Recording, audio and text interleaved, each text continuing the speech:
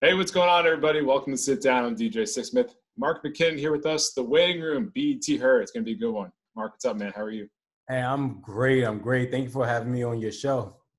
You got it. So I'm really excited to talk to you because BET Her is a really cool initiative, and the waiting room is really timely, really relevant, and a big one for you. So, what was it like filming this one? Um, yeah, it, it was truly an honor, and I had a lot of fun to be a part of this uh, project. I had so much fun working under Sheryl Lee Ralph, who was the director. I'm grateful for Tresha Smallwood and the Megamind family for the opportunity. I really wanted to be a part of something that was going to make a major impact in our community, and this project was the one to do that. Uh, so yeah, it was a great time, great experience the portrayal of black men and women is so important and especially in today's world black women they are so often forgotten and you got to work with so many incredible women here. What's the biggest thing you learned with this project? Man, the biggest thing i learned is that we have to all work together. A lot of times we have different egos on set or we all have our own agenda. A lot of times it can cause a lot of chaos but one thing about this project that everyone was on the same page everyone was impacted by breast cancer somehow, whether it was a family member or they'd gone through it themselves. Like we all were on one mission to really bring awareness to breast cancer. And you're somebody who has been personally impacted. Your grandmother passed away from breast cancer. This is something really meaningful to you. So, how often were you thinking about her during this entire process? I dedicated my entire role uh, to my grandmother, Laura McKinnon. You know, she died of breast cancer years ago. And I wanted to make sure this was a way to honor her through this role. So literally every day that I studied lines, every day that I prepared, every day, every day that I was in rehearsal, she was on my mind. So you're somebody early in your life that was really into football, sports were a big thing, and then acting came into the picture. You went to Howard. What have been some of the crazier moments of this journey when you take a step back and really think about things here? Man, like honestly, it was like trying to make that decision to leave football. That that was really really tough for me. Um, it wasn't uh, something that I wanted to do. I tried to navigate both, but it was extremely hard. Uh, so actually, when I went to go audition for the Howard University uh, Theater Arts program, when I walked into the audition room, they said, "You know, you can't audition for our program if you're planning on playing football."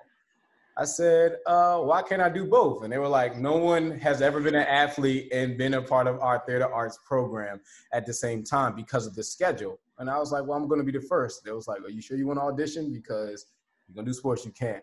Um, and so I had to make a decision right there on the spot because I really wanted to be a part of the theater arts program. And I was already there. I worked hard to get this audition. Uh, and so they uh, let me audition. It went really good. But in the back of my mind, I'm like, I'm going to still play football too. you know, and sure enough, I walked onto the Howard football team and we had a 5 a.m. practice, like maybe like three weeks into the season and that practice didn't go well at all. So what did they do? They said, y'all gonna come back tonight at six o'clock.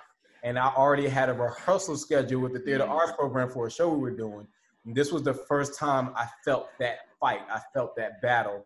Um, so I had to make that de- decision right there to hang up the cleats, you know, because I knew I, I was on a mission to be an actor and make an impact in entertainment there's so much you can draw from sports into the entertainment world. You need that persistence, you need that hard work. So, how did a, a time in sports really set you up for everything you're doing right now? Oh, really, honestly, the discipline. You know, when you're playing sports and you got the practices, the early mornings, the the the the, the notes that you're taking when you're in the uh, practice room. You know, all these things I'm able to apply to acting. I'm also an acting coach as well, so I'm able to teach my clients the same principle, the discipline that they need to really succeed at their careers. So when people check out your movie, it's going to pull at the emotional heartstrings. They're certainly going to relate to everything going on. What are some big things you want people to be thinking about when they check it out? Oh man, one thing they're going to be encouraged to make sure to get checked more often, to get checked daily. Uh, we, I read and found out that you know 40% uh, uh, the death rate is 40% higher for black women than it is for white women. So I really wanted to make sure that that message got across and BET, the writers, the production team made sure that that message was strong. So get checked. We have to take care of our health. We have to make sure that we are taking our health serious. Well said, Mark. Really nice to meet you. Looking forward to this one and looking forward to a lot of great work from you down the road. All right, man? Thank you again.